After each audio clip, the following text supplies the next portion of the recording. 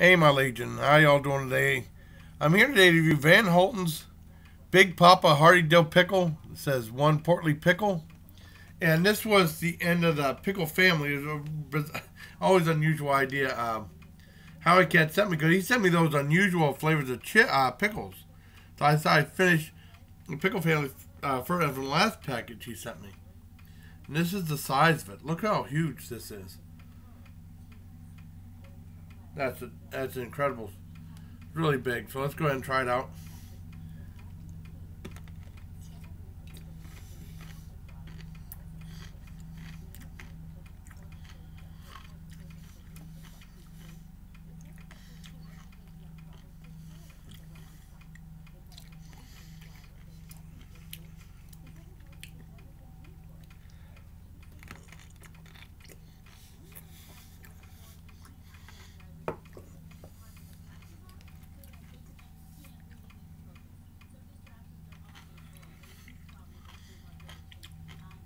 Really good.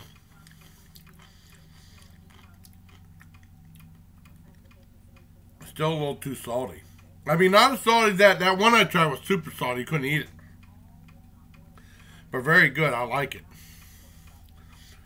And I think for I mean, if it was a little bit less salty, I would have given a higher score. But I'm going to give the Big Papa Hearty Dill Pickle 8 out of 10. Still good quality pickle. Nowhere near as salty that one kind I got. That was that was way way too much. But still, but still salty.